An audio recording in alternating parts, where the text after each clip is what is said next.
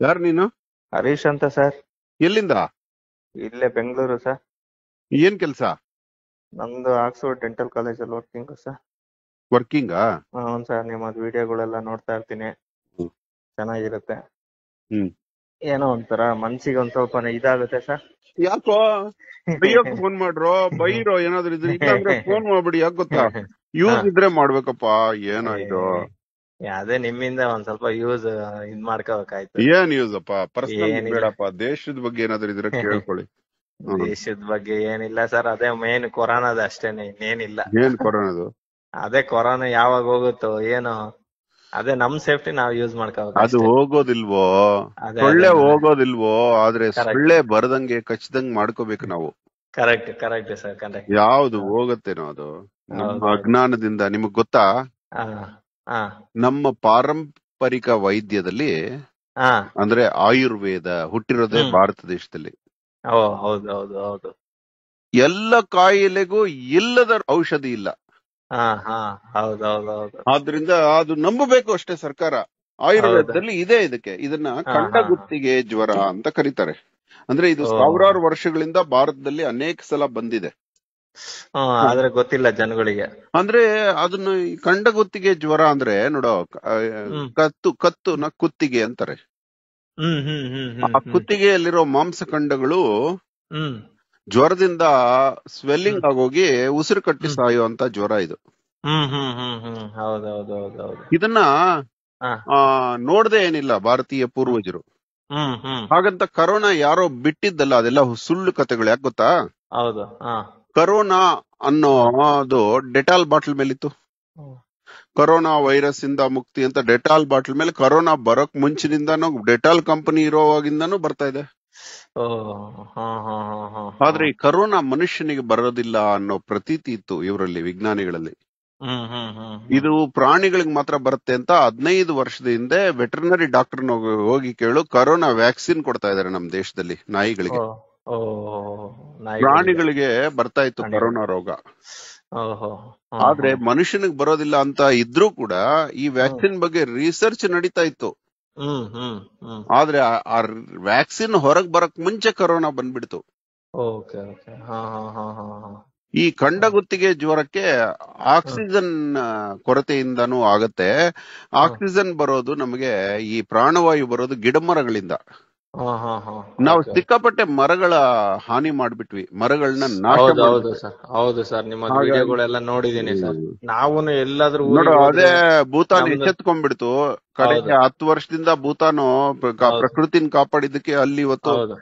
ಪ್ರಪಂಚದಲ್ಲಿ ಅತ್ಯಂತ ಕಡಿಮೆ ಹೌದು. ಹೌದು ಇವಾಗ ಸರ್ಕಾರ ಬೇಕಾದ್ರೆ ವ್ಯಾಕ್ಸಿನ್ ಗೋಸ್ಕರ ಕಾಯಿಲಿ ಅಲೋಪತಿ ಡಾಕ್ಟರ್ಗಳ ಹತ್ರ ಮೆಡಿಸಿನ್ ಇಲ್ಲ ಅಂದ್ರು ಅದ್ರ ಮುಖಾಂತರನೇ ಸರ್ಕಾರ ಖರ್ಚು ಮಾಡಿ ಅವ್ರಿಗೆ ಮಾತ್ರ ಫೆಸಿಲಿಟಿ ಕೊಡೋ ಬದಲು ಆಯುರ್ವೇದದ ತಜ್ಞರಿದ್ದಾರೆ ಆಯುರ್ವೇದದ ಪಾರಂಪರಿಕ ವೈದ್ಯರಿದ್ದಾರೆ ಅವ್ರಿಗೂ. ಕೂಡ ನೀವು ಸ್ವತಂತ್ರ ಬಿಟ್ಟು ನೀವು ಕೂಡ ಕರೋನಾಗೆ ಹೋರಾಡಿ ಅಂತ ಹೇಳಿದಿದ್ರೆ. ಜೊತೆಗೆ ಕರೋನಾ ನಾವು.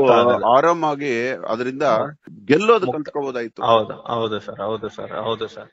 ನಾವು ಎಲ್ಲ ಊರ್ಗಳೆಲ್ಲ ಹೋಗ್ತಿವಲ್ಲ ಸರ್ ನಮ್ದು ಆಕ್ಚುಲಿ ಚಿತ್ರದುರ್ಗ ಅಲ್ಲೆಲ್ಲ ಹಳ್ಳಿಗಳಲ್ಲೆಲ್ಲ ನಾವು ಮರ ಕಟ್ಸಕ್ ಬಿಡಲ್ಲ ಸರ್ ನಾವು ನಾವ್ ಎಲ್ಲೋದ್ರೂನು ಎಲ್ಲೋದ್ರುನು ನಾವು ಮರ ಯಾವ್ದಾದ್ರು ಅರೆ ಕಂಬಿ ಎಲ್ಲ ಕಡಿತಾ ಇದ್ರು ನೀನು ಡೆಂಟಲ್ ಕಾಲೇಜಲ್ಲಿ ವರ್ಕ್ ಮಾಡ್ತಾ ಇದೆಯಲ್ವಾ? ಹೌದು ಸರ್ ಹೌದು ಸರ್. ಡೆಂಟಲ್ ಕಾಲೇಜಲ್ಲಿ ನೀನು ವರ್ಕ್ ಮಾಡ್ತಾ ಇದೀಯಾ? ನಿನಗೆ ಒಂದು ವಿಚಾರ ಹೇಳ್ತೀನಿ. ಹಾ ಹೇಳಿ ಆಯುರ್ವೇದದಲ್ಲಿ ಚರಕ ಯಾವಾಗ ಎರಡು ಸಾವಿರದ ಐನೂರು ವರ್ಷ ಆಯ್ತು. ಹ್ಮ್ ಹ್ಮ್ ಹ್ಮ್. ಅಂದ್ರೆ ಮೂರು ಸಾವಿರ ವರ್ಷದ ಹಿಂದೆ ಹ್ಮ್. ಇದ್ದಿದ್ದು ಮಹಾವೀರನ ಕಾಲ. ಆವಾಗ ಚರಕ ಬರ್ದಿ ಬರಿತಾನೆ ಎರಿ ಮೇಧಾದಿ ತೈಲ ಅಂತ. ಇವತ್ತಿಗೂ ಆಯುರ್ವೇದದ ಅಂಗಡಿಗಳಲ್ಲಿ ಸಿಗುತ್ತೆ. ಅಟ್ಲೀಸ್ಟ್ ನಿನ್ ಮುಖಾಂತರ ಜನಕ್ಕೆ ಗೊತ್ತಾಗ್ಲಿ. ಎಲ್ಲಾರು ಮನೇಲಿ. ಇಟ್ಕೋಬೇಕು ಇದನ್ನ. ಎರಿ. ಮೇಧಾದಿ ತೈಲ ಅಂತ. ಎಷ್ಟು ಅದೊಂದು ಹತ್ತು ರೂಪಾಯಿ ಇರ್ಬೋದು ಅಥವಾ ಇಪ್ಪತ್ತು ರೂಪಾಯಿ ಇರ್ಬೋದು. ಆದ್ರೆ ಹಲ್ಲಿನ ಯಾವುದೇ ತೊಂದರೆ ಹೊಸಡಿನ ಕಾಯಿಲೆ ಹಲ್ಲು ನೋವು ಆ ಎರಿ ಹಾ. ಮೇಧಾದಿ ತೈಲವನ್ನ ಹೊಸಡುಗಳಿಗೆ ಹಚ್ಕೊಂಡು ಹಲ್ಲಿಗೆ ಹಚ್ಕೊಂಡು ಹಾಕದ ಮೂ ಹಾಕಿದ ತಕ್ಷಣ ರಿಸಲ್ಟ್ ಶುರುವಾಗತ್ತೆ. ಹೌದಾ ಸರ್? ತುಂಬಾನೇ ಹಲ್ಲು ನೋವು ಹೆರಿಗೆ ನೋವಿಗಿಂತ ಜಾಸ್ತಿ ಹೇಳಿ ಸರ್ ಇನ್ನೊಂದ್ಸತಿ. ಎರಿ ಮೇಧಾದಿ ತೈಲ. ಹಾ. ಇಲ್ಲ ಎರಿಮೇಧ ಎನ್ನುವ ಗಿಡಮೂಲಿಕೆಯ ಆದಿಯಾಗಿ ಅನೇಕ. ಗಿಡಮೂಲಿಕೆಗಳಿರುವಂತಹ ತೈಲ ಅದು. ಇದು ಎಲ್ಲಿ ಸಿಗುತ್ತೆ ಸರ್ ಇದು? ಇದು ಆಯುರ್ವೇದಿಕ್ ಶಾಪ್ ಆಯುರ್ವೇದಿಕ್ ಶಾಪ್ ಅಲ್ಲಿ. ಅಂದ್ರೆ. ಇಂತ ಎಲ್ಲ ರಸವಿದ್ಯೆಗಳಿರುವಂತಹ ಐಶ್ವರ್ಯವಂತ ದೇಶ ನಮ್ದು. ಇದನ್ನ. ಹಚ್ಬಿಟ್ಟು ಹಲ್ಲು ಕೀಳ್ತಾ ಇದ್ರು ಹಿಂದಿನ ಕಾಲದಲ್ಲಿ. ಹೌದು ಹೌದು ಹೌದು ಹೌದು. ಅದರಿಂದ ಇದನ್ನ ಹಚ್ಕೊಳ್ಳಿ ಮನೇಲಿ ಇಟ್ಕೊಳ್ಳಿ ಎಮರ್ಜೆನ್ಸಿಗೆ. ಹಾ ಹಾ ಹಾ ಇನ್ನೂ ಒಂದ್ ಹೇಳ್ಬಿಡ್ತೀನಿ ಕೇಳಿ. ಏಲ ಏಲಾದಿ ತೈಲ ಅಂತ. ಏರಾದಿ ತೈಲ ಏಲಾದಿ ಏಲಾದಿ. ಏಲಾದಿ ಏಲಾದಿ. ಇದನ್ನ ಇಚ್ಕೊಂಡ್ರೆ ನೀವು ಮಾಂಸ ಕಂಡ ಕಿತ್ಕೊಂಡ್ ಬರೋಷ್ಟು ಗಾಯ ಮೊನ್ನೆ ನಮ್ ಮಗುಗ್ ಆಗಿತ್ ನೋಡಿ ಫೆವಿಕ್ವಿಕ್. ಹಾಕ್ಬಿಟ್ಟು ಮೆತ್ಬಿಟ್ಟೆ. ಏಲಾದಿ ಹದ್ನಾಲ್ಕು ಸ್ಟಿಚ್ ಹಾಕ್ಬೇಕು ಅಂದ್ರು. ಒಗ್ಗ. ಡಾಕ್ಟರ್. ನಾನು ಫೆವಿಕ್ವಿಕ್ ಹಾಕ್ಬಿಟ್ಟು ಹಂಗೆ ಕೊರೋನಾ ಟೈಮ್ ಆಚೆ ಹೋಗೋಂಗಿಲ್ಲ ಅಂತ. ಮನೇಲೆ ಫೆವಿಕ್ವಿಕ್ ಹಾಕಿ ಜೋಡಿಸ್ಬಿಟ್ಟೆ ಅದು. ಇವಾಗ್ಲೂ ಸರಿ ಹೋಗ್ಬಿಟ್ಟಿದೆ. ಅಂತ ಗಾಯಗಳೊಳಗಡೆ ಏಲಾದಿ ತೈಲ ತುಂಬಿ ಬಿಡ್ಬೋದು. ಹಾ ಹಾ ಹಾ ಹಾ ಹಾ. ಒಂದ್ಸಲ ಒಂದು ಕರುಗೆ ಹಾ. ಆಕ್ಸಿಡೆಂಟ್ ಆಗೋಗಿ ನನ್ನ ಅಂಗೈ ಹೋಗುವಷ್ಟು ಗಾಯ ಆಗೋಗಿತ್ತು. ಹಾ ಹಾ ಹಾ. ಅದು ಯಾವ್ದೋ ದೇವಸ್ಥಾನದ ಕರು. ಹ್ಮ್ ಹ್ಮ್. ದೇವಸ್ಥಾನದ ಸ್ವಾಮೀಜಿ ಇದಾರಲ್ಲ ಅವ್ರು ಯಾರೋ ಅವ್ರು ಅವ್ರ ಹತ್ರ ನೀವ್ ಏನ್ ಮಾಡ್ತಿರೋ ಗೊತ್ತಿಲ್ಲ ನಂಗೆ ಸರಿ ಮಾಡ್ಬೇಕು ಈ ಕರು ನೋಡಕ್ ಆಗ್ತಿಲ್ಲ ಅಂದ್ರು. ಇಮ್ಮಿಡಿಯೇಟ್ಲಿ ಏಲಾದಿ ತೈಲ ಒಂದು ಬಾಟಲ್ ತರಿಸ್ಬಿಟ್ಟು ಅದ್ರೊಳಗೆ ಸುರಿದು ಬಿಟ್ಟೆ ಓ ಹೋ ಹೋ ಹೋ. ಏಯ್ ಮೂರ್. ದಿವಸದಲ್ಲಿ ರೆಡಿ ಆಗೋಯ್ತದು. ಓ ನೋಡಿ ಸರ್ ಹಿಂಗೆ ಅನೇಕ ವಿಚಾರಗಳು. ಆಯ್ತು ಇಡ್ಲು ನಾವು ಫೋನ್ ಜಾಸ್ತಿ ಇಲ್ಲ ಇಲ್ಲ ಸರ್ ಈಗ ನಮ್ಮ ಮಗಳದೊಂದು ಯಾವಾಗ. ನೀನ್ ಪರ್ಸನಲ್ ಕೇಳಿದ್ರೆ ನನಗೆ ಬೇಡ. ನಾನು ಈ ವಿಡಿಯೋ ಹಾಕ್ತೀನಿ. ಪರ್ಸನಲ್. ಬದುಕಿದ್ದಾಯ್ತು. ಎಲ್ಲರಿಗೂ ಹೇಳಿದಿರ ನಮಗೊಬ್ರಿಗೆ ಯಾರು ಹೇಳಿಲ್ಲ ನೀನು ಪರ್ಸನಲ್ ನೋಡ್ತಾ. ಇಲ್ಲ ಸರ್ ವಿಡಿಯೋಗಳು ನೋಡ್ತಾ ನಿಮ್ಮದ ವಿಡಿಯೋ ಹಾಕ್ತೀನಿ ನಾನು. ನಾನು ಪರ್ಸನಲ್ ಹಾಕಿ ಹಾಕಿ ಹಾಕಿ ಮಗಳಿಗೆ? ಮಗಳಿಗೆ ಏನೂ ಆಗಿಲ್ಲ ಸರ್. ನಮ್ಮ ಮಿಸಸ್ಗೆ ಸರ್ಜನ್ ಇದಾಯ್ತು ಸರ್ಜರಿ ಆಯ್ತು. ಏನು? ಸರ್ಜರಿ ಅಂದ್ರೆ ಅವರಿಗೆ ಪೇನ್ ಬರ್ಲಿಲ್ಲ. ಸಿಸೇರಿಯನ್ ಅಂತ ಹೇಳು ಸರಿ ಸಿಸೇರಿಯನ್ ಸಿಸೇರಿಯನ್ ಆಯ್ತು. ಅವರಿಗೆ ಪೇನ್ ಬರ್ಲಿಲ್ಲ ಹಂಗೂನು ನಮ್ ಮೇಡಮ್ ಪ್ರಯತ್ನ ಇವಾಗ ಏ ನನ್ನ ಎದುರುಗಡೆ ಇದ್ದಿದ್ರೆ ಏನ್ ಸಿಕ್ಕಿದ್ರೆ ಅದ್ರಲ್ಲಿ ಹೊಡಿತಿದ್ದೆ? ಕತ್ತೆ. ಪೇನ್ ಬರ್ಲಿಲ್ಲ ಅಂದ್ರೆ ಬರುತ್ತೋ?